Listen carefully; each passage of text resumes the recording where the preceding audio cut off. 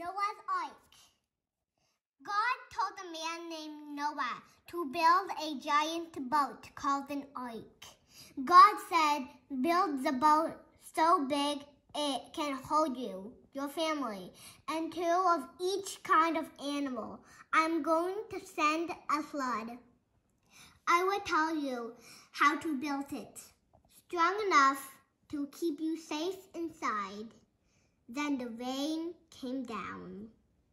For 40 days and 40 nights, even the tops of mountains were under water.